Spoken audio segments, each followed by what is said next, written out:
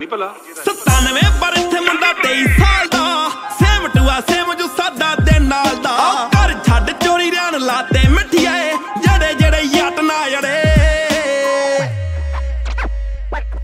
ਹੋ ਯਾਰੀ ਵਿੱਚ ਕੱਟੀਆਂ ਨੇ ਜੱਲਾ ਮਠਿਆ ਅਲੜਾਂ ਦੇ ਪਿੱਛੇ ਕਦੇ ਯਾਰ ਨਹੀਂ ਲੜੇ। ਹੋ ਯਾਰੀ ਵਿੱਚ ਕੱਟੀਆਂ ਨੇ ਜੱਲਾ ਮਠਿਆ ਅਲੜਾਂ ਦੇ ਪਿੱਛੇ ਕਦੇ ਯਾਰ ਨਹੀਂ ਲੜੇ।